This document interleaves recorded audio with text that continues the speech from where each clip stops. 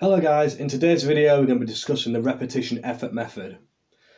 So as previously discussed in the other videos, the max effort, the max effort and dynamic effort method, the repetition effort method is also a method of strength training put forward by the Russian researcher Verkhoshansky.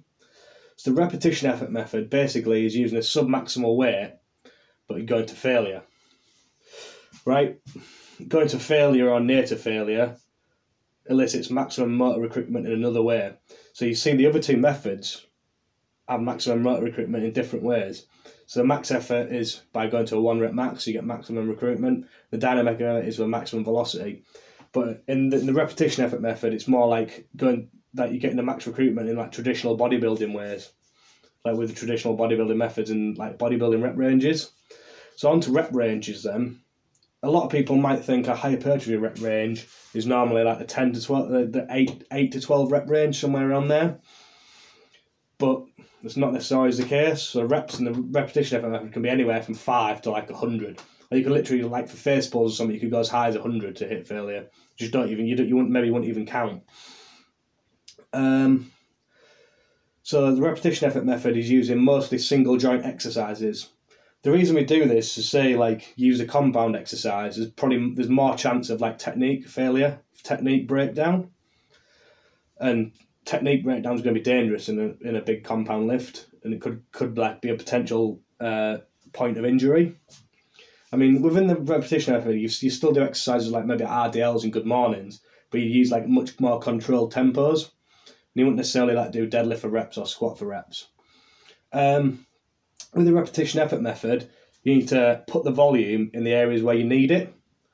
There's no point being strong in the wrong exercises, and it has to be targeted to your weak points. It, even needs to be targeted to weak points or to create balance. So like rear delts, something like that. That's to create balance in your shoulder and prevent injury. But the majority of your repetition effort method needs to be put into your weak points. Also, it's high volume training. So you're going to use like high, like a high number of reps per set, high sets, short rest intervals, a high density of work. So it's very similar to like bodybuilding training. So you might in your workout, you might do your max effort dynamic for effort first, and the rest of your workout might look like a bodybuilding workout, really. And uh, because of this, like a lot of people, me personally as well, I tend to like try and go by feel. So you maybe wouldn't necessarily have it planned out exactly what you're doing, if if you decide to change change on the day, you might like you might have like a rough idea of what you want to do, and like what what areas you want to like put the volume into. But like on the day, if something's not feeling, you just swap it out and put something in that you do feel. So that's the thing. You need to like like like a bodybuilder would. You need to like feel the muscle working and work on that mind muscle connection, and feel the contraction, so you know that you're like targeting the areas you want to. You're not just like going through the motions and doing it. You need to actually like use controlled tempos, like feel the muscle working, just like a bodybuilder would. Right then, in terms of like prescription, the amount of volume of repetition effort method, repetition effort method work you should do, there's a rule of 80-20. The 80-20 rule basically is that 80% of volume needs to be in your single joint exercises and 20% in your compounds. So your 20%, 20% of your work will be your max effort and dynamic effort work, and the rest of it will be uh, your repetition effort. So this is where a lot of people get confused with conjugate, and people might think it's like oh it's, it's just dynamic effort max. It's like a low volume program. No, this is where the volume is. That's like the tiny tiny little part of it. The main the main bulk of your strength is going to be in the like developed in the repetition effort method. Could basically say like for example, in a squat your quads might be capable of like 350 kilos, your back might be capable of 350, and your glutes might be. But if your hamstrings are only capable of 300, guess how much you'll squat? 300. So there's no point banging more volume into the whole movement pattern when you're just going to be like held back by the hamstrings. So if you put the volume in a repetition effort method into the hamstrings and bring them hamstrings up to 350, a 350 capable hamstrings, what guess what you're going to squat then? Your squat's going to go up.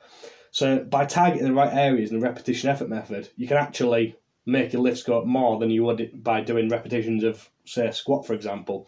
Because after a certain point, there's going to be like certain areas and certain muscles which the, the, the conventional lifts are not going to target, and they're going to like lag behind and hold you back. And this is the repetition effort method is where you like bring them things up bring everything into line, and then you can perform better at the top. But the thing is, there's always going to be a weakest part. So say you bring your hamstrings up to 350, then so say you bring you do that, you bring your hamstrings up to 350, then you squat 350, then you carry on, and you get your hamstrings up to 370, but then your lower back might still only be 360, and you have to bring your lower back up.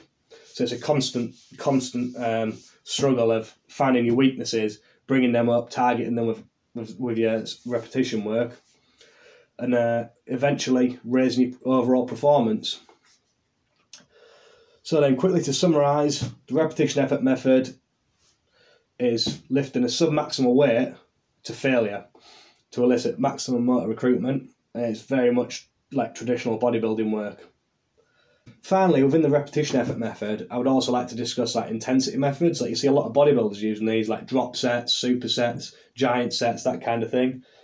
Um, it's a great place to use the repetition effort method. You can kind of like extend your sets beyond failure, and also like you're going by feel. So if that's what you, if that's what you like feel works, do it.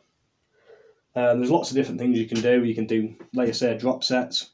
I I'm a personal like I'm a personal fan of doing supersets of like opposing muscle groups. So say you might be doing good mornings, you might superset that with like an abs exercise, and that in, in, increases your training density and also gets your abs out the way instead of pushing them to the back of the workout when you're more likely to skip them. Um,